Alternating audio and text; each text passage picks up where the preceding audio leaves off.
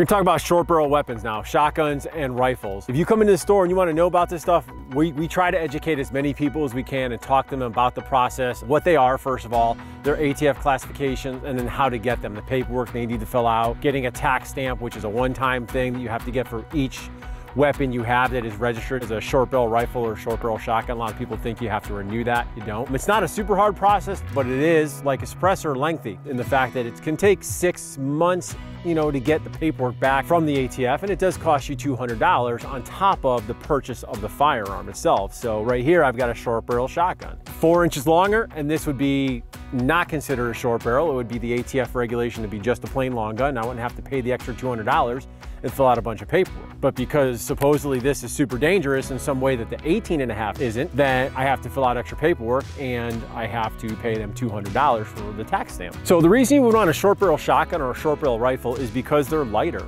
They're easier to maneuver in your home if you're defending your home with something like that. In our opinion at the store, that having a shotgun or a rifle to supplement your handgun is better than just a handgun because the terminal ballistics on the shotgun rounds and on the rifle rounds is a lot better than a handgun round. So it's just gonna be easier to maneuver. It's gonna stop the person in your house trying to harm you and your family faster, which is in the end what we're trying to do, just stop them faster. That way they have less of a chance to harm you or the ones you love. But you know, you come into the store and we will go through the whole process. We make it easy for you. We'll guide you through whatever you need to know. We'll help you pick out the firearms you're looking for and get you trained in them as well.